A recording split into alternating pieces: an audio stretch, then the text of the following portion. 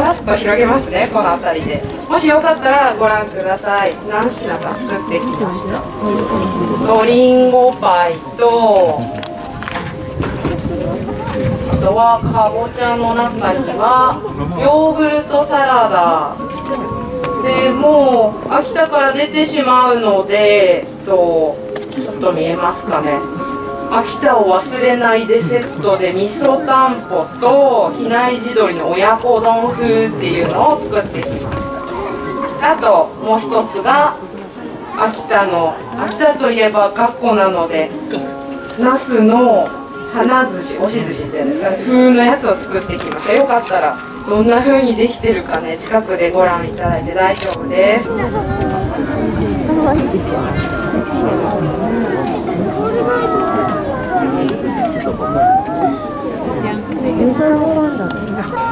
あ、学校から来ました。学校風のナスの花寿司を食べてますね。あ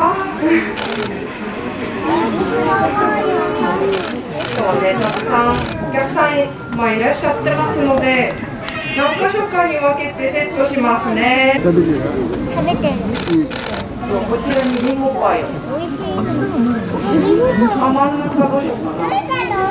真ん中はヨーグルトサラダいきます。か。ぼちゃの。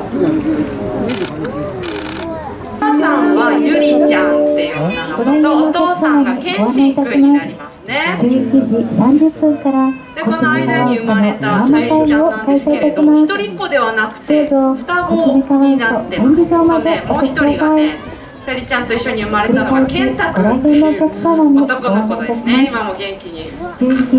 30分から宇都宮カワウソのワンマン会を開催いたしますどうぞ宇都宮カワウソさゆ展りちゃんね示場までお越しください弟がいます。弟2人いるんですね。今日ガラス展示場に出ています。カンタ君とひなた君っていうね弟が2人いるんですけれど。お母さんのゆりちゃんさゆりちゃんと弟2人と4頭で一緒にお外に出ていた時代がありました。その時にさゆりちゃんなんと弟くんたちのお世話をしっかりしてたんですね。毛づくろいをしたりあとは遊んであげたりっていう感じでねしっかりお世話をできるお姉ちゃんでした。なのでねお姉ちゃんもこうやってねしっかり弟くんたちのお世話をしてくれたことでお母さんのゆりちゃんはゆっくりねご飯が食べられることがね。よくあったっていうお話をね聞きました。さゆりちゃんきっとね子育て上手なんじゃないかなって私も思います。お。ヨーグルトサラダスルーされちゃいました。リンゴパイ食べる？いちじく添えねキウイとね。キウイとかいちじくも食べますよ。ちゃうねそうなんです。じゃんさゆりちゃん自体はね結構性格的にはわんぱくでおてんばタイプな。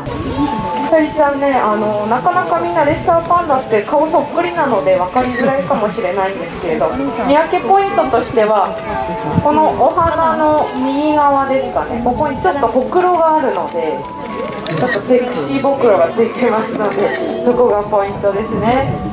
なのでもしこの後ね丸山動物園に遊びに行くことがあったらぜひさゆりちゃんに会いに行ってください。待ってます彼女は。